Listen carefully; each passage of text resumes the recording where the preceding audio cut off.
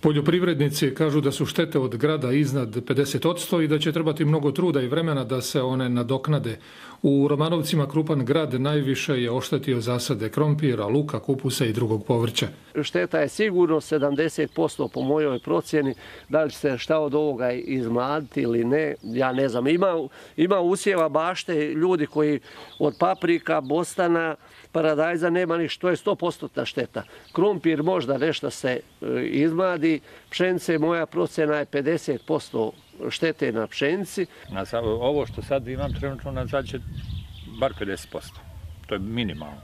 Ali eto, ajmo uzmemo 50%, od 50% će se spasti. Samo što i to 50% što spasiš košta. Treba šprica, treba zaštita, treba sve, a to sve košta, nemaš ništa džabi dobiti. Ni dan kasnije grad se nije otopio, a gomile podsjećaju na žestinu kojom je sinoć padao u ovom lijevđanskom kraju, gdje su gradonosni oblaci obišli samo pojedina domaćinstva. 15 sati kako je bilo, kako je pao led, još se nije otopio, još ga ima, u, u hladovnici može naći, a jutro su u 6 sati bilo ga je mogo s lopatom zgrtati okolo. Ovaj, toliko je, pola sata je padao led, veličine oraha i, i lješnjaka, od prilike te veličine padao.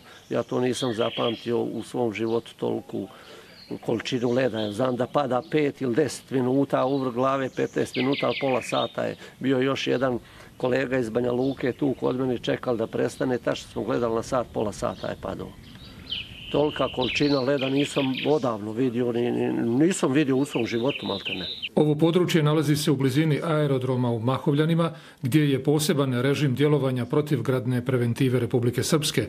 Zato su nabavljeni takozvani prizemni generatori koji neće ugrožavati avijaciju. Efekti za poljoprivrednike biće dobri, a štete od grada, kao što je sada slučaj, biće izbjegnute ili neuporedivo manje.